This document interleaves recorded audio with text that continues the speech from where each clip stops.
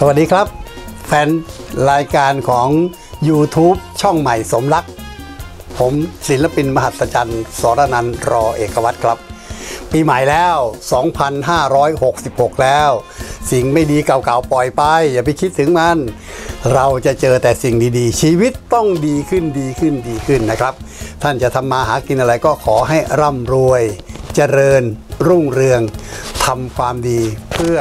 ตัวเอง เพื่อสังคมเพื่อประเทศชาติ อะไรที่เป็นความสุขทำครับ ความทุกข์เนี่ยต้องลืมเอาไว้บ้าง แล้วผมมีคติมาฝากนิดนึงนะฮะนี่พูดกับคนข้างเคียงพูดพูดกับคนข้างตัวแล้วว่า ชีวิตที่เราผ่านมาเนี่ยม่ว่าจะเป็นมากน้อยแล้วแต่ เราอย่าบันทึกความผิดของกันและกัน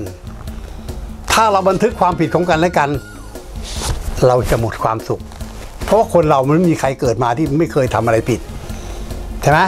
ถ้าเราไม่บันทึกความผิดตื่นเช้าขึ้นมาเจอแล้วก็ยิ้มแย้มแจ่มใสหากัน แล้วเขาบอกว่าถ้ายิ้มวันละนิดจิตแจ่มใส ยิ้มทุกวัน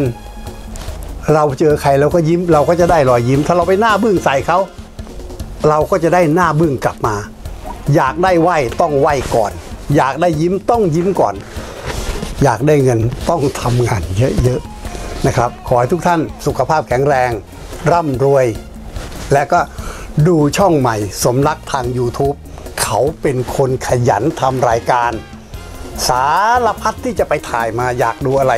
เขียนลงไปในนั้นบอกเขา เดี๋ยวสมรักจัดให้ สวัสดีครับ